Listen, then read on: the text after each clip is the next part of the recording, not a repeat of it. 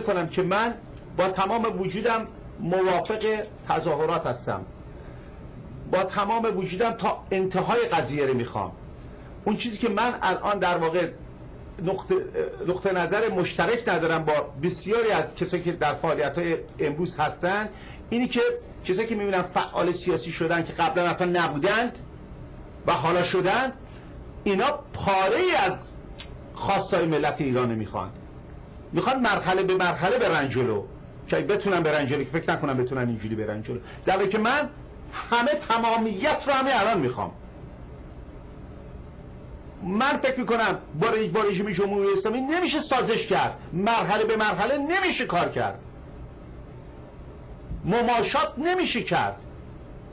ببینیم باهانه دست جمهوری اسلامی ندیم این مسخره است.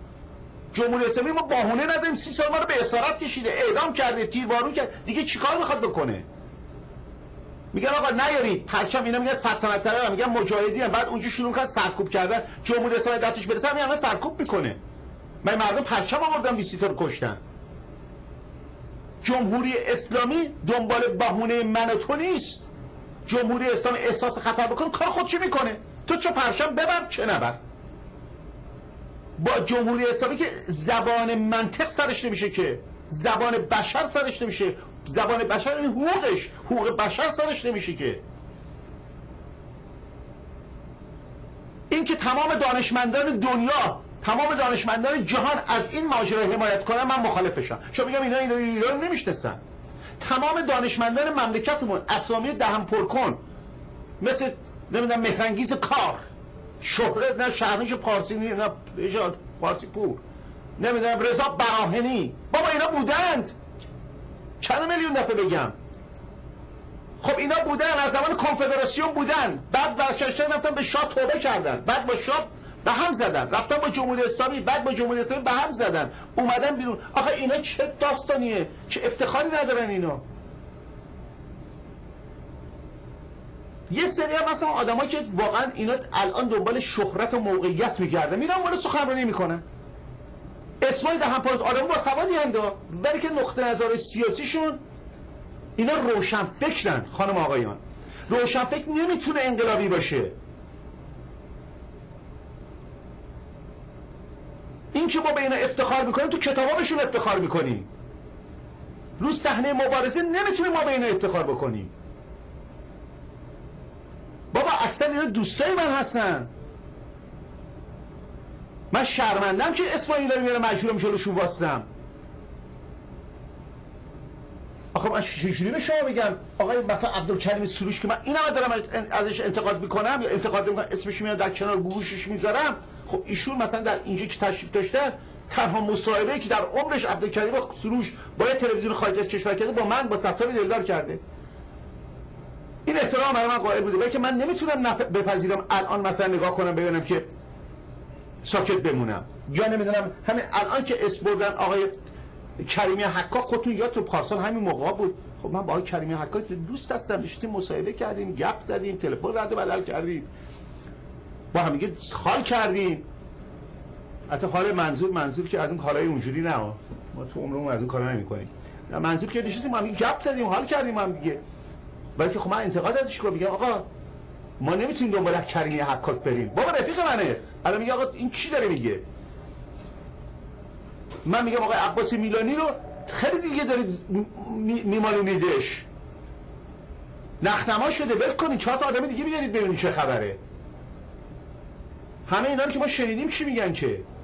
کنگره آمریکا چرا همش دنبال آقای عباس میلانیه؟ و خب یه آدم دیگه رو ببرم اینا چی میگه؟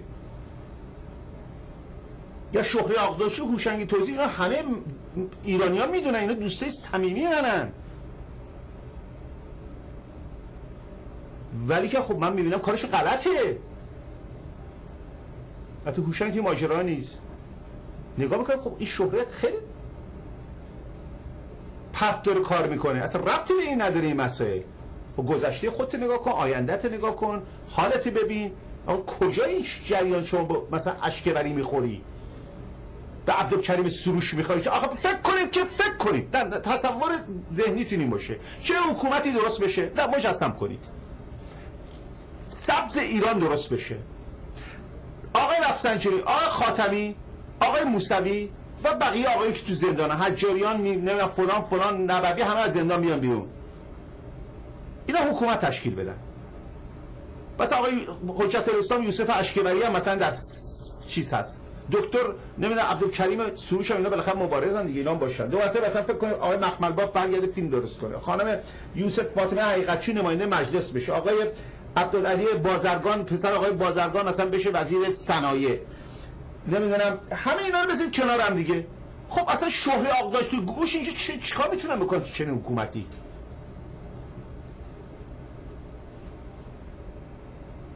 اصلا فکر نکنم مثلا آقا اکرم گنجی هم باشه. من فکر کنم مثلا سروش اگه مثلا گوش شلش باشه یا مثلا شهر آقداش مثلا باشون صحبت اول باشون حرف نمی‌زنه.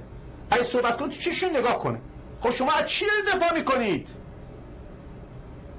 خب این همون جریان زبان انقلابه که من میگم آقا این خمینی که داره میاد خانم خوشگل خانم دانشجو خانم دوست من تو که بی ام سواری هفت قلم آرایش می‌کنی فردا این بی ام از پات می‌کشم بیرون. این روسلی میده سر این آرایش تو پاک می‌کنن هی نرو توی خیمه تظاهر کن بگو درود بر خمینی. استقلال آزادی جمهوری اسلامی. چه حرف من گوش نمیگه حالا من این حرفم به گوش و شو آقای خانم شوهری آقداشی که شما خب اومدیم اینا موفق شدن. شما جاتون توی چنین حکومتی کجاست؟ به من بگید مثلا تو حکومتی که اشکبریه. آره حجت الاسلام اشکبریه حجت الاسلام کلیوره حجت آیت الله دستبیبه آیت الله خامنه ای آیت الله رفسنجانی آقای میر حسین موسوی. جای شما کجاست؟ و چیشی دارید دفاع می‌کنید؟ باز همه بدبختی رو سر ما دارید در میارید. نمیگم از حرکت مردم دفاع نکنید. در این جمع شما نامتجانس هستید. تجانسی با این جمع ندارید شما. شما ملت رو دارید خرد می‌کنید باز. معذرت می‌خوام. شرمنده این حرف درنم واقعا فکر می‌کنم که با آخر دارید ما رنگ می‌کنید. من میگم گوش بیاد تو کنسرت بزنه میره میشینه برای عبدالکریم سروش. بدبختی رو نگاه کنید. میشین برای حجت الاسلام اشکبری پس شما پیام میشنوید نمی‌خواد بکنید. راهتون یه چیز دیگه یه جوری دیگه دارید نگاه می‌کنید. و من یه چیزی رو خدمت هست که ممکن همه شما منو میشنوید به من با هم مخالف باشید. هیچ مهم نیست برای من. چون اون زمان هم خیلی با من مخالف بودم که صدای من نشنید. ولی این دفعه اون دفعه تو ایران نمی‌تونستم برای تلویزیون ملی ایران بتونم این حرفا رو بزنم. چون خود شام خراب بود وضعش. اونقدر قابل دفاع نبود که بشه این کارا رو کرد. و مردم جنون زده بودن جنون زده شده بودن. الان من می‌تونم اون تب اونجوری نیست بودم باز برای من فرقی نمی‌کرد. من این حرفا رو می‌زنم پاشم ایستادم.